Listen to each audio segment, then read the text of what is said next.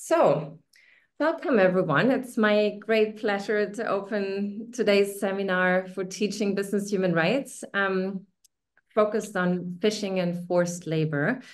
I'm Dorothy Baumann-Pauly. Many of you know me. I direct the Geneva Center for Business Human Rights, and my role today is merely to introduce the speakers and true drivers of this teaching tool. Um, at the Geneva Center for Business Human Rights, a part of our mission is to help integrate human rights in business school education. And um, the access to teaching tools is key for facilitating the uptake of human rights in business schools. There are not enough teaching tools available, and I'm thrilled that we um, partnered with the ILO and pooled our expertise um, on forced labor and fishing. This is the first of what hopefully become a series of teaching tools that we are creating together. So now let me get to um, today's um, speakers who will guide you through um, the session today. Um, the objective of the session is for you to really familiarize yourself with, with what we've created and how we've already used it in some of our classes. And there will be plenty of time in the end for you to ask questions um, to anyone who's used it before, etc. So um, let me first introduce you to my colleague, um, Berit Knaak, um, at the center um, in Geneva. Berit and I co-taught a session last um, semester um, using the teaching resources. I think we were the first ones testing them, and uh, that went very well because we had help from Alix, uh, Alix Nasri from the ILO. She is based in Geneva and she is the expert on forced labor and ran a big project on fishing. She will talk more about that in a minute. And she came to class as a guest um, and um, supported this first round of teaching. Also, my dear colleague Charles Autheman, who is a lecturer at HEC um, Paris, but also runs our um, research cluster on supply chains. Um, Charles also supported that very first time we tested the teaching resources and he taught it himself at HEC Paris. So he also comes with um, experience and he was the one who drafted the background um, uh, document, which is essentially the, which are essentially the teaching notes. Um, as always, I also want to thank the team of GBSN, Julie, Juliana, and Dan is here to help us to set up these seminars. And the seminar will be recorded um, so that um, if you know of an instructor who might be interested in using the tools at a later point of time, there is accompanying material um, where we talk you through what we've created. Um, and when I say what we've created, this really includes more people than the ones I've just introduced. Um, it does include um, at least another handful of experts that we had invited to a teaching workshop um, in Geneva. And it was a true process of co-creation. So pooling the resources um, from the ILO and from academia um, resulted in those teaching materials now. The context is something that I want Alix to better explain because the resources were created as part of an MOU, a, a Memorandum of Understanding that we signed with the ILO um, over a year ago now, where we committed to joining forces to create such teaching resources. And I want to hand over to Alix to have her talk more about what motivated the ILO to reach out to us um, as a group of academics committed to bringing human rights to business school education. So Alix, thank you. Over to you. Thank you very much, uh, and uh, it's a big pleasure to be with all of you today um, to discuss such an important uh, topic and partnership, a new type of partnership uh, for the ILO. Uh, for those of you who are not fully familiar with the ILO, uh, so we are a United Nations agency that promotes social justice and the protection of labor rights. And um, in the UN world, we are a bit different because we are what we call tripartite, which means that uh, our members are not only governments, but also workers' organizations and employers' organizations. So we interact a lot in the adoption of our labor standards and in our day-to-day -day work in the field with employers um, uh, in different countries. And um, more and more we were seeing um, over the past 10 years some um, requests coming from the private sector on the fact that often uh, new professionals are not fully equipped with uh, the tools um, and um, um, I mean the knowledge that they need to actually address challenges around labor rights, labor rights violation and human rights more generally. Uh, and we also saw in some countries that it, it we, we really needed to do much more with this new generation of future business leaders um, that were hired by those companies that had more and more um, demands coming from different legislations and other soft law on making sure that they respect uh, human rights and labor rights in their supply chains. Uh, so for the ILO, I think this was quite a natural uh, partnership uh, to um, approach uh, the University of Geneva uh, Center for Business and Human Rights and the Global Business School Network um, to actually partner together so that we could think of how to develop resources uh, for academia, for business schools around the world uh, that can be helpful in teaching this new generation of, of business leaders the right skills that they will need uh, in terms of, uh, of protection of workers' rights uh, uh, generally.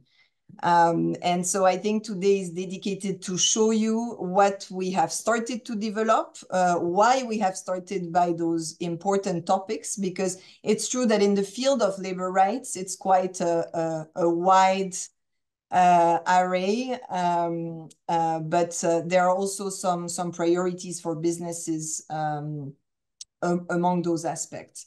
So um, yeah, it's a big pleasure to be here after all, a bit more than one year of signing this memorandum of understanding. Uh, thank you for the invitation, and I hope that um, today we can we can show you much more concretely what this partnership uh, has already delivered and how it can be helpful um, in in your teaching. Thank you, Dorothee. Over to you, Shao, I think. Yeah, thanks. And Alix, I'll come back to you just after maybe for you to tell us uh, maybe more precisely why why forced labor and maybe why the fishing industry. But just before that, um, I'm going to maybe show everyone a little bit what these teaching resources, as we call them, look like. It's um, quite difficult, uh, the task that we, we had to try to design something standard uh, but also relevant to a global audience. Um, if we look at, at GBSN members, you have, uh, I think, nearly 150 members currently uh, from over 50 countries. Uh, some of them are located uh, with on the ocean, maybe have a fishing industry of their own. Some of them might be markets for fish. Um, some of them might not be directly related, but might have um, uh, consumer goods that are made uh, with fish or have fish in their supply chain or have food and beverage uh, in the hospitality sector that use fish. So there's a lot of different entry points. And the challenge for us is to make sure that uh, someone that is teaching management um, in, in Nigeria or um, in Singapore or uh, in Argentina will find in this in, in this resource something that is useful and will understand how uh, he or she can can make this relevant for his students. Um, so it uh, predominantly looks like a like a web page um, which is convenient because it's something we can we can change uh, regularly. We can update it. We can um, play around a little bit with the content if we think that there's anything important that needs to be displayed. Uh, it's hosted uh, by the GBSN website, so obviously it falls within this MOU that uh, Alix and, and Doro were talking about. Um, We've put some contacts uh, to make sure that if people actually want to interact with the resource, they can send us emails and, um, and we can make sure that we can address any questions people have. Um, Uh, we talk a little bit about the why, but I think uh, will elaborate on that just a, a bit later. Um, it's open source. Obviously, the idea is that it's it's free to use. Um, it's it's uh, a starting point. It's also free to um, adjust, adapt, contextualize as as teachers might want. Um, we've designed it in a way that um, it could it doesn't require any any um, initial knowledge. Um, so if teachers want to give it to undergraduates which are completely unfamiliar with the industry, it's possible to do it. Uh, but also we've tried to make sure that if um, it's done in a, in a framework where uh, uh, participants have already have some knowledge about the industry or might be working in the industry, there's also um, some more in-depth um, type of learning that can that can be done. And as I said, it's it's it's meant to be a living document. For those of you who are not following what's happening in um, commercial fishing. Um, it's quite a dynamic sector with a lot of um, debates going on, especially related to uh, human rights and labor rights. And so it can very well be that in the next couple of months, next couple of years, there are some important decisions, policy, whatever you want, that might appear. And it would be important for us to be able to reflect that in the tool. Um, it starts off with some learning objectives, quite general. Um, it's uh, like any type of teaching in this field, which is at the crossroads between uh, human rights uh, uh education, labor rights education, uh, uh, but also business management education. we want to achieve several things. First, we want to inform students about a specific industry um, and understand how you know going in depth into an industry can help them identify challenges. then we want to look at specific type of human rights challenges and how businesses can be uh, related and act on these challenges. And the last learning objective is really about a solutions oriented kind of uh, education where irrespective of uh, the position students might have, they understand how they can um, take decisions that will improve the situation. Obviously, what we're trying to achieve as an end goal is that uh, the beneficiaries of this teaching, uh, when they are in a position in, in the business sector uh, or in other types of sectors, in policy, in civil society organizations, can act upon what is currently happening. Um, in, in designing the learning objectives, we've tried also to make sure that um, uh, we uh, differentiate a little bit what um, the uh, tentative audiences might be expecting. Um, I've been teaching this course, for example, mostly for undergraduate, bachelor students. So you're uh, basically talking with uh, individuals that don't have um, so much business experience. And so you're trying to help them um, imagine what it could look like, how they could uh, act upon. But you could imagine that uh, this teaching could go all the way to executive education. And um, in this case, you would want to run the sessions really differently um, because you would be uh, in the room with people who already uh, might have some ideas of what they can do or might be expecting much more targeted approaches to specific positions. Um, and, um, and so we're trying to address that. Uh, as uh, uh Berit was saying, there's kind of two standard tools to help a teacher uh, uh, feel comfortable going into the classroom and talking with his students about fish.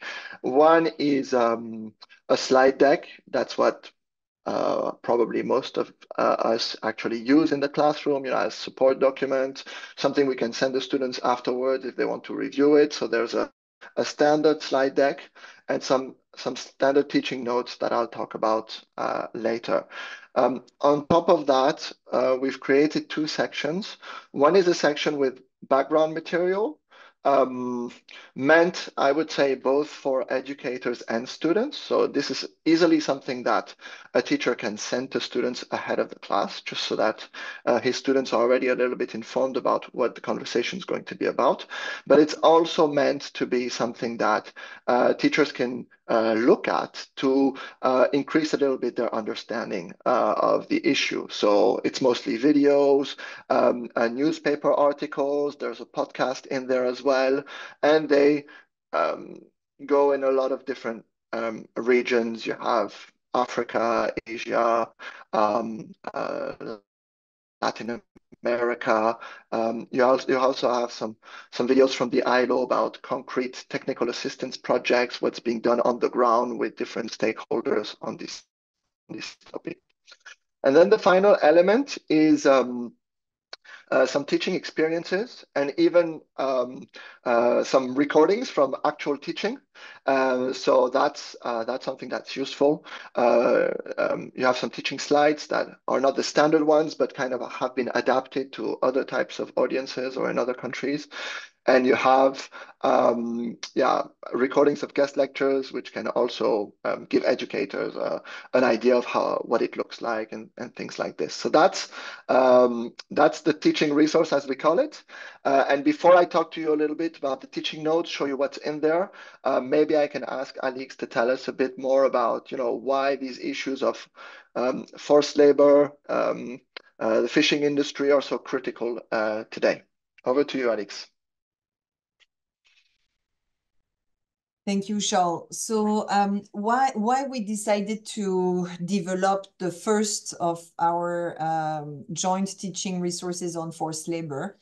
So um, for in terms of forced labor, uh, this is uh, what we call at the ILO a fundamental labor right. Uh, in fact, we have uh, only a few fundamental labor rights, which are, if you want, what are the human rights of the labor rights? What are those labor rights that, that really are extremely important to, to protect?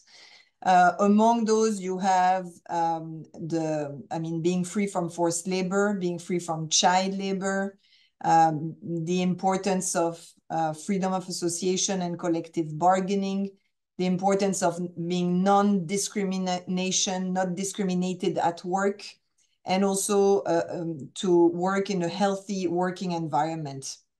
So we decided to zoom in on forced labor uh, because it's a fundamental right. And uh, because it's a fundamental right, it's also a key um, reputational risk for businesses if there are violations of forced labor.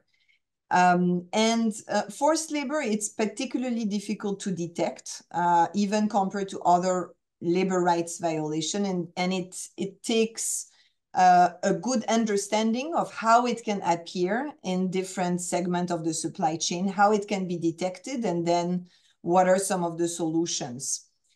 Um, what we have also seen is that uh, businesses themselves have come to us, to the ILO, to uh, mention that more and more in the past 10 years, there has been the development of uh, mandatory due diligence legislation uh, on forced labor or transparency type of legislation on forced labor, which has have pushed, in fact, companies to um, have to understand better where are the risks of forced labor and to address them. Um, then we wanted also uh, to zoom in uh, to take an example of a sector um, uh, that is at risk, at higher risk of forced labor, so that we can dive in more on the practicalities of how do we actually eradicate forced labor in one at-risk sector. And that's why we selected fishing. Uh, why fishing in particular? I mean, this is um, a sector where the risk of forced labor is is um, is higher uh, than other sectors. We estimate that at a minimum there is 128,000 fishers that are in forced labor. This is probably a big underestimation. Um, and this is also a sector which is very complex, very complex for company because it's transnational by nature. Uh, and so the legal responsibility to protect the rights the, you know, of fishers on board fishing vessels is quite a complex matter. Um, so, so we wanted to also uh, showcase in the tool how do you address those sectors that are very transnational with different type of responsibilities from flag states, from port states, from market states that are buying the seafoods, and how do you actually uh, how how can you um, uh, you know, resolve some of those um, uh, issues. And lastly, um, the ILO, uh, since uh, three years, have really tried to accelerate uh, its different programs uh, in the field in different countries to eradicate forced labor in fishing. So we've been working a lot with employers, with trade unions, with governments, and especially labor inspectors that actually inspect vessels on, their, on labor conditions. So we have learned a lot and we wanted to share all of this data also on you know solutions that are being developed by different countries in asia in africa in latin america uh, and that can be very very helpful um, uh, for students um, and lastly we selected also fishing because it has links with many other sectors. I mean obviously with services and hospitality with agribusiness retail um, so uh, it, in fact, impacts uh, many, many different industries. Uh, and so it is relevant for really every region of the world and uh, many different companies. So um, I think that was also one of our main objective um, with this teaching, uh, teaching tool. Thank you, Sean. Thanks, Alix. And so, I mean, before we talk just a little bit about some teaching experiences, I can um, show you what the uh, the main teaching notes look like um, to give you an idea of really what is the content that's available for teachers who want to uh, um, uh, to deliver this in there in the classroom. So just going back quickly on the, the website I showed you earlier. Um, if I go into the teaching notes here, um, so it's dated from uh, December 2022. This is actually when the um, the workshop that was done to develop this tool uh, was was organized. Um, and so it's the starting point of this whole work. There's a little bit of background, but I'll spare you that. Um, some of the elements I, I told you that are also featured on the website about the fact that there's no prerequisite, the learning objectives, etc. But going really into the content, so it's about it. It's a 25 page document. Um, um, also related to the fact that the way we've conceived it is we don't know exactly who teaches what and how much time is available uh, for any given teacher. Um, I sometimes have, um, you know, a very hands-on activity with students, a little group of 10 students for a full day. And sometimes I only have a one hour um, a master class with 70 students. So obviously, depending on the format, um, it can really vary what you will what you will do, whether it will be participatory or just kind of a top-down lecture. What we've agreed upon in terms of the um, the standard format that we're considering is is a two to three hour lecture for a group of let's say um, 30 to 35 students, um, which seems like a little bit um, um a standard a, a, standard class, and that's how it's framed. Uh, but obviously, uh, for example, the time that is indicated, all of that is really just um, um, theoretical and can be completely adapted. it's it's based in kind of units which all correspond to the learning objectives, and it's also looking at maybe uh, what can happen before uh, uh, the class actually happen and then what happens in the classroom. So this is why there's a, a unit zero, which is supposed to be before the class, uh, and then what really happens uh, during the during the class. Um, so yeah, some context that can be sent, a timeline, a lot of resources. As you can see, it's interactive. Um, um Fishing can be a bit technical for who's not used to this industry. Uh, so, you know, there are some concepts like uh, uh, abandonment or um, flag states or beneficial ownership that uh, Ali is talking about. So what we've done is we've included a glossary within the tool uh, and all words that are in blue and, and, and bold are actually defined at the end of the tool for anyone who would want to make sure they, they get the the concepts clear. What is fish meal? I mean, for uh, fish specialists, this is quite evident, but not for anyone who's not into this field. Um, now and then uh, in the notes, we actually give some tips for contextualization. This is really the, the, the main part where we think teachers can really uh, adjust the tool to make it really relevant to, to, their audience. And at the end of each unit, uh, we suggest uh, activities.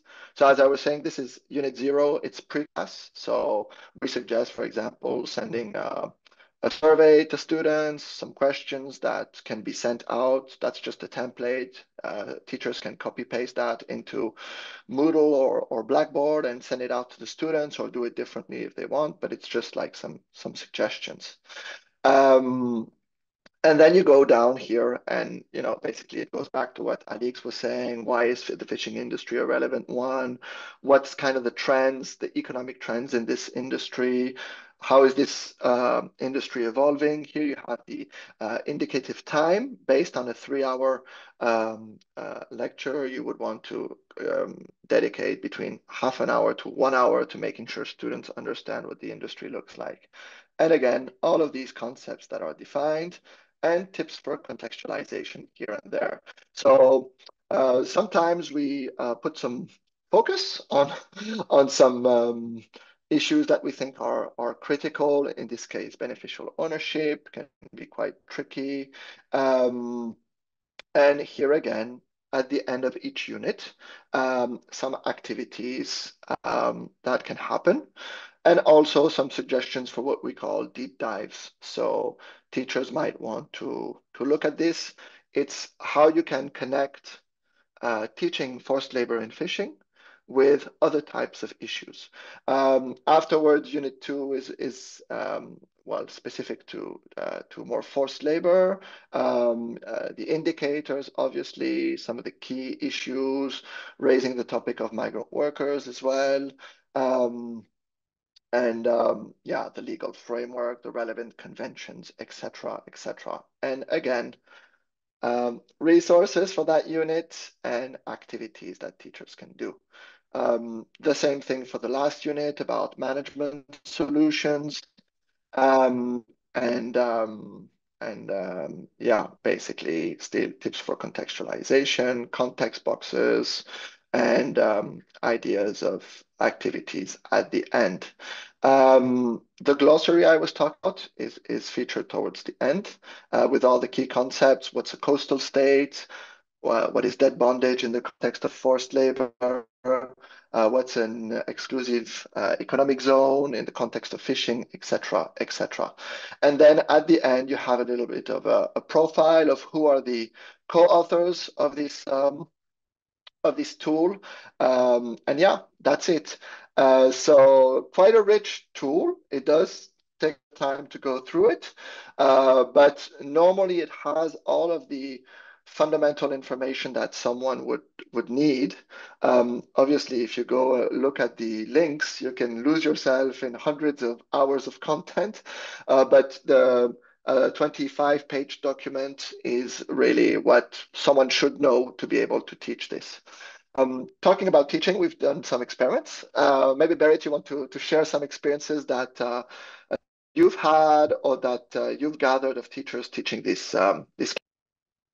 Sure, thank you. Now, I think you've all already got a very good impression of the material that's out there. That's uh, kind of the foundation based on which you can integrate this topic into your own courses.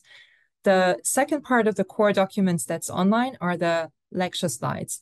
For technical reasons, they are online as a PDF format, but you can just send us an email and then we will share the open source uh, PowerPoint slides with you. The email address is also on the website again.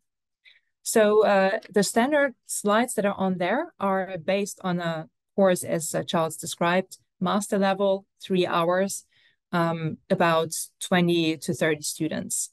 Um, so that particular slide deck we used uh, for the pilot test in Doris' class, which uh, we taught at the University of Geneva. It's a master level course, uh, takes three hours. And uh, this session took place about in the middle of, uh, of the course. So the students had some prior knowledge of what are human rights, what does uh, human rights due diligence look like in global supply chains. Um, for this specific class, we had uh, Alix and her colleague Alison as guest speakers. and uh, Charles also um, joined us virtually for a part. Um, so that's totally an option that you reach out to some of the experts uh, for each of the teaching resources um, or use the videos from teaching that is uh, online. There have also been a couple of other um, uses of these materials already, most of them in dedicated business and human rights, social sustainability classes, business ethics. So uh, from teachers who have uh, some prior knowledge in this area. It's not required, but it makes it easier. Um, also, for uh, for the courses that have been taught so far, um, using these resources, there have been master level courses and bachelor level courses. And the feedback we, we received is, first of all, there's a great demand for cases that actually illustrate human rights in practice. And partnering with the ILO has um, given us an exceptional amount of uh, on the ground knowledge, what that looks like in practice. Um, so in terms of the feedback we received, there are three main um, elements that are contextualized for the teaching. One, obviously, are the course parameters. So how many, um, how long is the course? We taught it for three hours, but some already taught it for one and a half hours only, and then shorten it accordingly. Um, and also the number of students will allow more or less interaction. So some of the activities have to um, be cut short, for example. Um, then also the adaptation to context is crucial. So some students may have some prior knowledge, as I just uh, indicated for Doro's class. Um, others have no background at all. Um, so that's uh, another option that you can use, where you can use the background material to give a head start for the students when you meet them in class. Um, and one and also the, the prior knowledge differs very much according to the country where it is taught. So the teaching resource has already been used in the context in Indonesia, where the fishing industry is much more visible um, in terms of because it's a bigger part of the economy and of the uh, labor market, um, and also in terms of the level. So some of the um, lecturers who've taught the, um, the fishing material in a bachelor class um, got questions from students who had seen Netflix documentaries or Seaspiracy uh, videos and just came up with these with these questions and uh, bits and pieces of knowledge. So that's something to to adapt to. And uh, then the teaching resources are set up in a way that you can use them, but they are modular. So there are standalone units that can be combined. And one feedback that we received so far is that these building blocks could also be even smaller portions that we have a dedicated video on the definition of forced labor, for example, um, or smaller bits and pieces to combine and, and shift around with. And that's something we take uh, um, as feedback and will integrate over time on the website too. So those are the experience that we've uh, had so far. Berit, thank you. May, may I just add two little things um, because we were teaching this class together. Um, first of all, of course, we're very lucky that we're based in Geneva, and this is also where Alix and Allison were based, and they could mm-hmm. easily come over um, to our classroom and um, teach certain sections of this module. Um, but we recorded their contributions. So the videos on the website, if Alix is not available live or Allison, you can actually plug them in through the videos where they speak um, with authority about forced labor. Um, so uh, yes. that I think huge um, advantage that we have built up a, a, little library of video clips. And as you mentioned, um, more might be useful um, as you are starting to teach this. You know, please consider are you doing something that could be helpful for others as well? Then record it, send it to us, and we can put it on the website. As Charles pointed out, this is supposed to be a living document and a website that grows organically as more um, instructors use those resources. Um, I would love to integrate your slide decks, your videos, um, so that we build up a little library of options um, for how to teach this subject. That yeah, and also different hooks maybe yeah. to contextualize it. We made suggestions. Um, so we I don't know. In the beginning, we we uh, started with a connection to cats and cat food, fish and cat food, but uh, others um, might have might use different hooks. So, for example, for the hospitality sector, it could be uh, linked to procurement, or for consumer goods to cosmetics, or it could even be for marketing used to certifications and labels. So there are different um, starting points to then integrate forced labor into the teaching, because that's the, the main idea, to use human rights topics, integrate them in management education, and then find a context um, that works as an illustration, in this case, the fishing industry. I can give a little bit of, of feedback also on the experiences teaching this class. Um, uh, so I've taught it already uh, three times and will be teaching it in just a couple of weeks again in my new business and human rights class.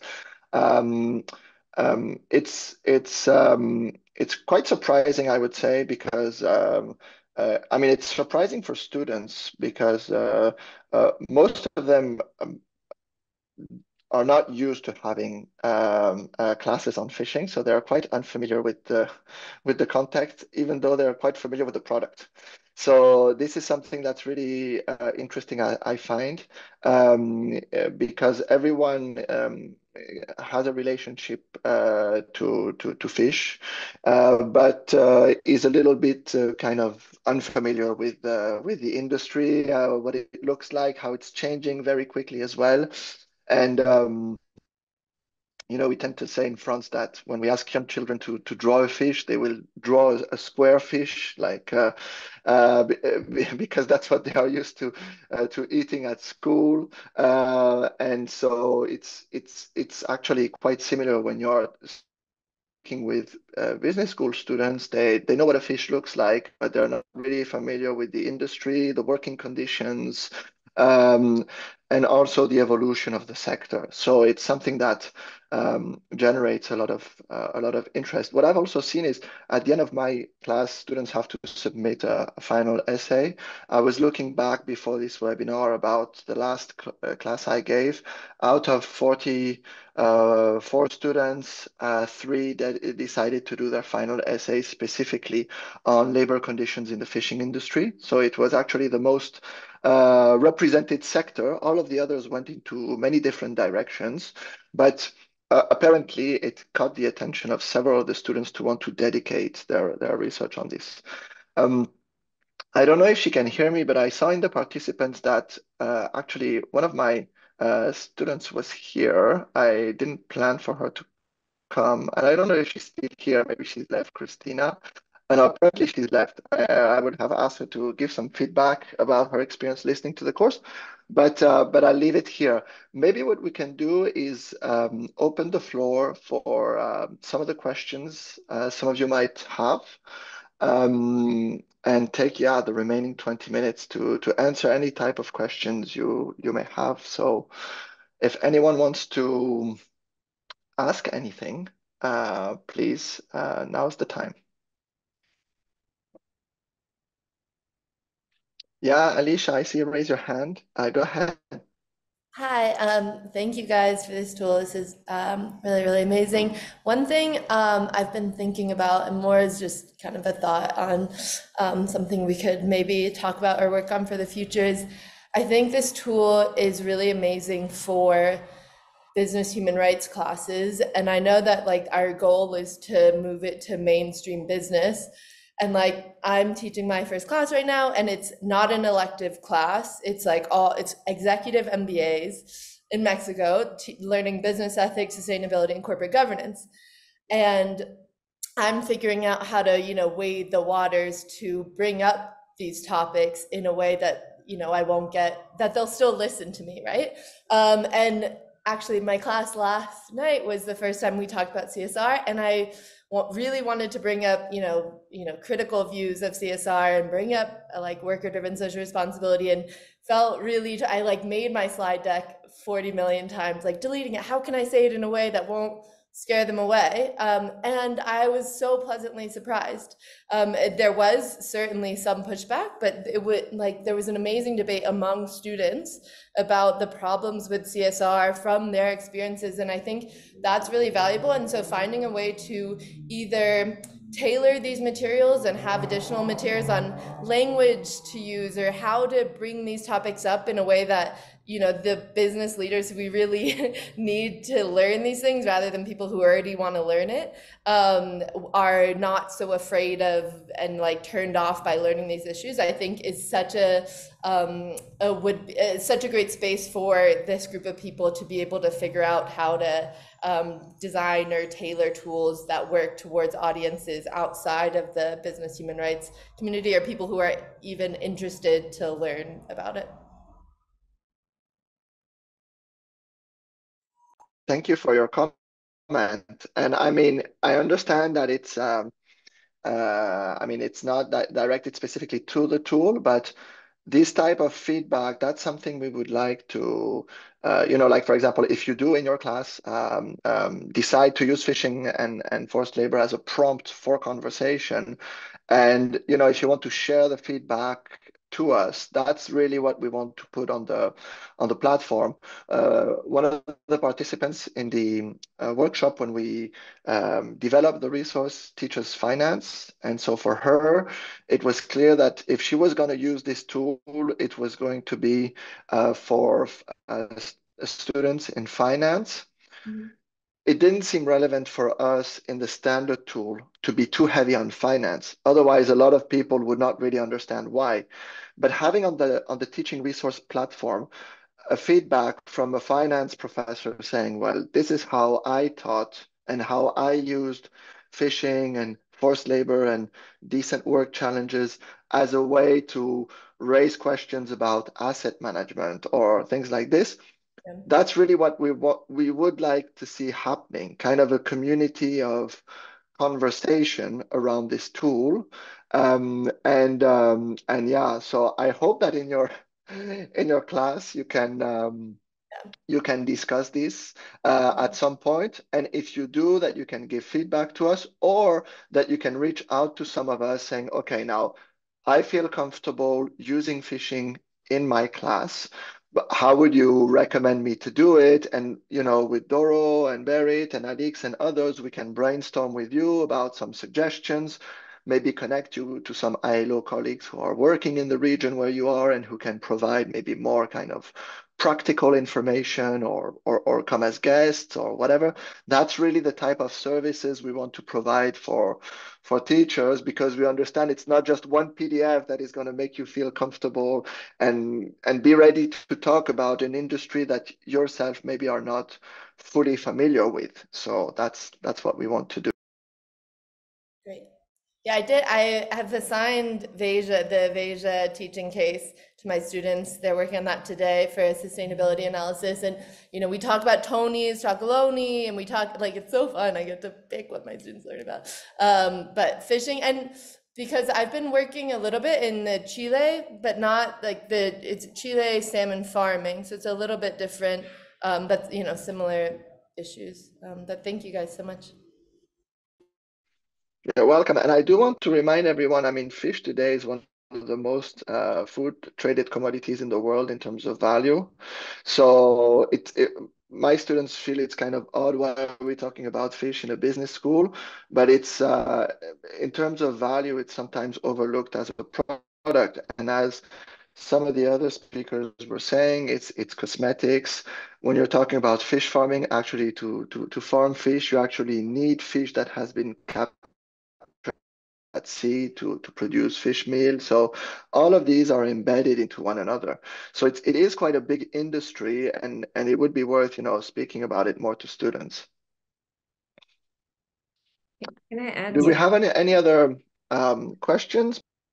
Can I just add one sentence? So I think I could also imagine simply asking the students, so who would your sort of your dream employer? In my case, I'm in a landlocked country in Switzerland. They often say Nestle or um, L'Oreal. Uh, like a lot of my students also want to be in uh, cosmetics, indeed. And so here's your hook. You know, you can immediately say, well, you might be managing the pet food portfolio of Nestle one day, and you won't realize as of yet that this is linked to today's topic um, because all the fish goes into pet food and Nestle has actually been accused of forced labor and Thai fishing, and the fish goes into their pet food. So um, it, it really opens their eyes to understand that the fish topic cuts across a number of sectors that are attractive employers, even in a landlocked country like Switzerland without a port or ocean.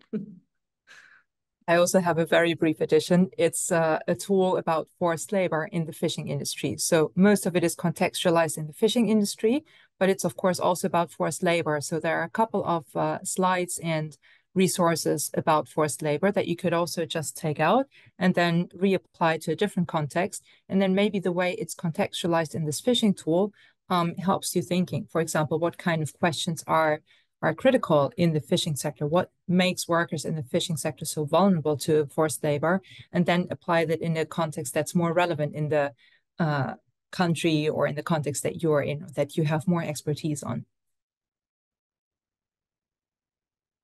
I, I think you said that you were based in Mexico currently. Correct. Um, because, for example, uh, uh, another hook is that uh, last year Mexico adopted for the first time a regulation on banning the imports of any product that is made out of forced labor. Uh, they adopted this new regulation because it's part of their obligation under the, the, the trade agreement that they have with the United States and Canada and um, in fact, we had a very interesting discussions uh, last uh, last year with them on how are they going to implement this new regulation because a lot of responsibilities to to check whether the companies in Mexico import any product made out of forced labor will be on the company itself. So you know um, that's a, a, very important hook and i think this will this can change also a lot of the conversations in the private sector. Just for you to know also last year for example with the ilo concamin which is the mexican employers association uh, joined the ilo global business network on forced labor because they want to do more on this and they want to to be able to adequately engage in those discussions with the private sector and provide some of the tools. So maybe a, a possible person also or organization to invite for future discussions. Yeah, that's amazing. Thank you so much. Yeah, it's interesting to think about. Like I saw when they made that announcement, and in my head, I'm like, how are they gonna enforce? How will that be enforced? Um, like, I mean, so many standards. Um, but yeah, I would love to, you know, chat more, be connected with anyone who could be helpful.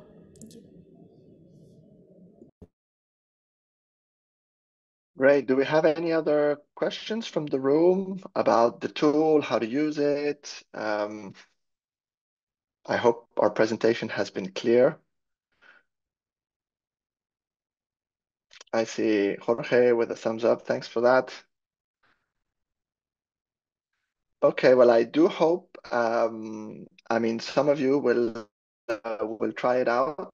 Um, again, as I was saying, a, a, an email address, a standard email address you can use to uh, take some time to come and speak in the classroom if some of you want to uh, to to have me as well, or you know if you want to have more of a private conversation about um, how to go about it. Um, I'm really seeing a lot of interest from students. As Berit was saying, Seaspiracy is um, definitely something all of my students have seen. they've not always remembered the part of Seaspiracy, which is on uh, um, uh, human rights and uh, labor conditions. Um, so it's also a very good um, topic uh, to look at the tensions between uh, sustainability in the environmental and biodiversity aspect of the word and sustainability in the social dimension of the word. So that's something really interesting. Um, and also just want to mention that uh, it's really topical in a lot of industries right now. Uh, gave the class on the 5th of October, just a couple of months ago.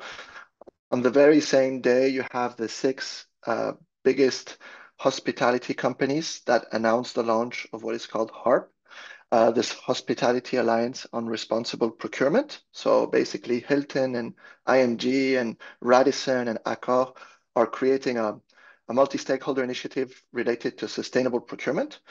And in the press release, uh, when they came out with this information, uh, one of the things that they highlighted is that they want to work together on responsible procurement of fish. And so I found that quite interesting. Uh, it, it, happened the very day I was teaching this class. Uh, but to see that, you know, it's something that's on the agenda of some of the biggest companies in the world in some sectors. And a lot of us would have, you know, Hilton or Accor or uh, Radisson hotels uh, nearby where we live. So, and students might be interested in working in these type of companies.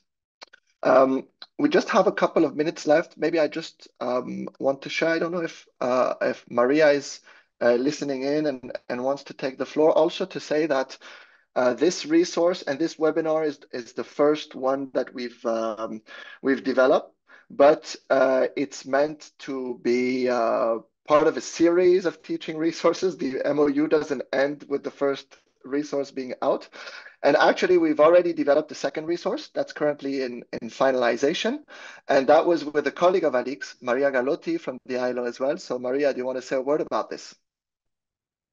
Sure. Well, thank you so much for inviting me. It's been very interesting and also to see how many of you are, are interested in, in this tool. So, I mean, uh, it's a pleasure for me to be here. And indeed, as Charles uh, said, you know, we are uh, working uh, toward finalization of a, similar uh, module or teaching material which uh, will be focusing on migration, on labor migration, and in particular on the process of recruitment of, uh, of migrant uh, workers. Uh, because we know that uh, sometimes exploitation starts at the recruitment stage and this has very uh, significant impact on business uh, uh, operations along supply chains. So we are uh, finalizing this uh, material. It will be soon available as well. I mean, I was also interested to see some of you working in different regions in Mexico. This is, a, for example, a country where we work a lot on migration and recruitment of, of migrant workers. I think it would be great that we have also this material made available in different languages um, that's uh, something perhaps to think about in the future. You know, I know that you're teaching mostly in English, but uh, you know, um, we go a little bit by the demand as well. You know, so I think it'd be interesting to hear. Uh, you know, interest uh, into having materials translated in languages like, you know, Spanish or French, you know, so yeah, food for thoughts, but I think I, I will keep on, you know, uh, contributing to this process and hearing from you all because you are the one really that, you know, are delivering and having students in front of you and, and it's a learning process for, for all of us. So thank you for the opportunity uh, of being with you. Maria, thank you. if I can jump in here, I would like to echo what you said. These tools are for our community of instructors at business schools. I'm very keen to hear from all of you how how are things going in the classroom as you use this material. As I said, I'm very keen to integrate um, your versions on our public um, platform because I think it's important to make sure these this material remains open source so that anyone around the world who teaches can have access and can use that. Um, Jorge in the chat already requested access to um, the migration tool, so we better get our act together to push that over the finish line um, and have that done before the summer, because I do think it's another really hot topic that cuts across all kinds of industries. And by making these resources available, I do believe this increases the chances for instructors to bring that to the classroom and prepare an entirely like a new generation of business leaders that better knows how to navigate these often awfully complex um, issues. But right now, I'm I'm pleasantly surprised how um, excited my students are about these topics. Um, I feel like they get it very quickly and they want to be taught the skills for how to manage um, human rights in business.